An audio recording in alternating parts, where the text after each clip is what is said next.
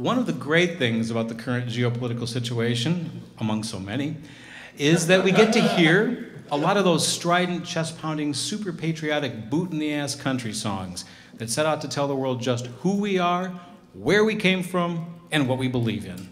Having written plenty of unsuccessful country songs, I thought I'm missing a trick and that I, there might be a buck or two in abandoning my principles entirely.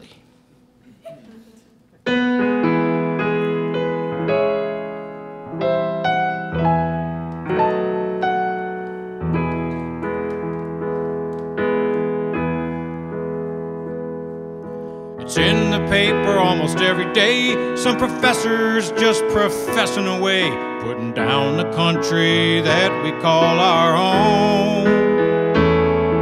Could it be that he don't understand the history of this great land? Where Liberty's sweet light is always shone.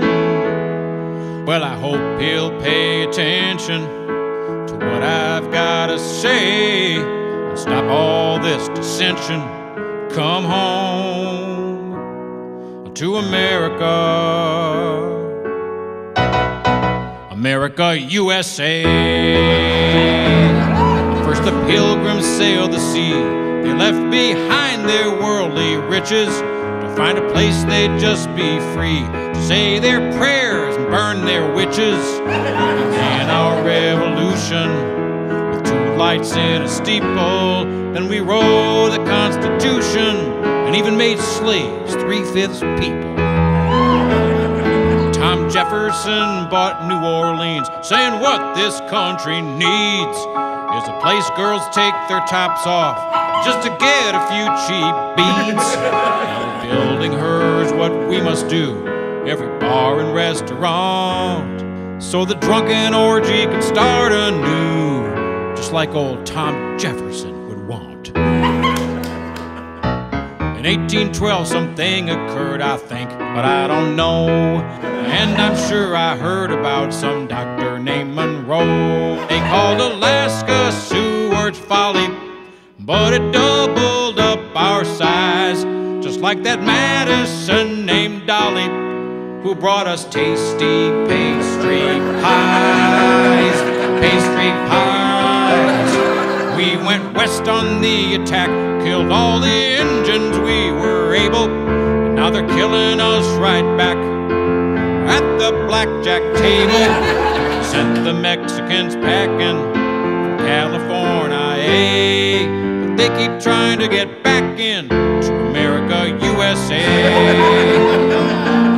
now it's a great big melting pot, a grand and global stew. Some might say it needs less Irish, a bit less Greek, and Polish too. And some are fed up with Italians, and some detest the French much more. Some proudly just say, screw them all, and that's a right worth fighting for. And the Swedes in Minnesota think Norwegians are retarded, and there's Israelis and Armenians but you can't tell them apart, at least I prejudice, no matter who we are. But on one thing we can all agree don't let Chinese drive a car. so, Professor, take this lesson with you. It's us you're messing with, you better give some thought to what you all say.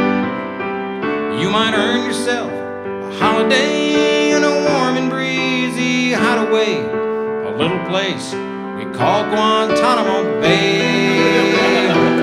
That's Guantanamo Bay in America.